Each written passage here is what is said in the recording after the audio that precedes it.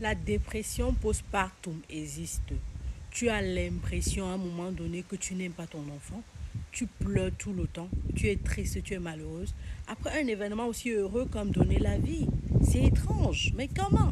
Je viens d'accoucher. Je suis supposée être heureuse. Mais je me sens mal. Je suis malheureuse. Je me sens triste. J'ai peur. Parce que l'enfant ne dort pas la nuit, parce qu'il y a beaucoup de choses à faire à la maison, parce que tu parles beaucoup au téléphone, parce que tu reçois beaucoup de visites. Mais pourquoi tout ça? Maximum 15 minutes d'appel par jour et des personnes très très importantes, très très proches de toi. Tu prépares quand tu peux et pas préparer, préparer, il faut manger. Mais je veux dire, les travaux de la maison ne vont jamais finir. Laver les habits, laver les assiettes, tout ça, ça ne va jamais finir. Tu fais ça quand tu peux. Sinon, ça va te fatiguer. Parce que le but ici, c'est de prendre soin de ton enfant. Mais si c'est que tu travailles tellement, tu es tellement fatigué que tu n'arrives plus à prendre soin de l'enfant, ça veut dire qu'il y a un problème. Ça veut dire que euh, quelque part, tu es en train de... Comment il veut dire ça? Quelque part, tu es en train de perdre de vue l'objectif. Cette vidéo, ce n'est pas seulement pour toi, maman, c'est pour l'homme aussi. Parce que s'il n'est pas au courant que ça existe, il ne va jamais comprendre. Et si tu te sens triste, tu n'aimes pas, tu sens, tu as l'impression que tu n'aimes pas ton enfant, il n'y a rien de sorcier dans ça. C'est normal.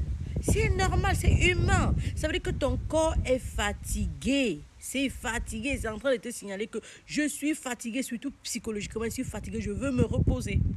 Oui, le corps est fatigué. On est d'accord qu'après 40 semaines à supporter la croissance d'un être humain dans toi, les hormones qui sont en train d'agir, à fin de la grossesse où tu ne dormais pas, tu n'avais pas de sommeil, tu étais obligé de te coucher sur une seule position, la position sur le côté gauche. Tu faisais pipi chaque 30 minutes, chaque une heure. Oui, le corps s'est fatigué. Et il y a quoi de plus normal que ça D'écouter ton corps? Mais tu ne peux pas abandonner ce que tu as. La priorité, c'est toi et ton enfant en ce moment-là. L'homme est une priorité si tu es marié, mais il faudrait que tu intègres l'homme dans ce que tu vis. J'invite souvent les femmes à expliquer ce qu'elles traversent à leur mari. Ils ont besoin de savoir. Ils ne peuvent pas entrer dans vos cerveaux. Si vous ne leur dites pas ce que vous vivez, ils ne peuvent pas comprendre. Ne vous dérangez pas qu'ils soient instruits ou pas, qu'ils soient instruits ou pas. Lorsque vous leur parlez, ils prennent souvent un temps, je sais pas, quelques minutes à l'extérieur, lorsqu'ils sont à l'extérieur ou quand, ils sont, quand vous n'êtes pas à côté, ou ils vous regardent, ils essayent de comprendre, d'imaginer votre douleur. Mais si vous n'expliquez pas, ils vont pas comprendre. Je vais souvent, avec la prière, demander la grâce à l'Esprit Saint, qu'il vous accompagne, parce qu'on ne peut pas s'en sortir sans ça. Moi, parce que je suis chrétienne, je je sais pas, mais vous autres priez, je sais pas, vous priez Allah. De plus, de plus important, c'est qu'on prie un être qui est là-bas, hein, qui est plus haut. Il nous écoute, demandez-lui la grâce. Mais c'est normal que tu ne te sentes pas bien. C'est normal que tu pleures. Le plus important, c'est que tu ne restes pas couché, que tu finisses et que tu te lèves. C'est pour ça que je viens dans cette vidéo te montrer ce qui peut te causer cette, cette situation-là et te montrer aussi comment tu peux t'en sortir.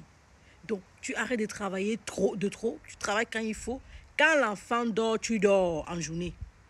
Quand l'enfant dort, tu dors. Parce que la nuit, quand l'enfant ne dort pas, tu ne dors pas aussi. Pourquoi en journée, quand l'enfant dort, tu ne dois pas dormir? Parce qu'il faut s'occuper des X, Y Non, non. Tu as d'autres enfants accompagnés à l'école, tu les accompagnes à l'école, tu prépares pour deux jours.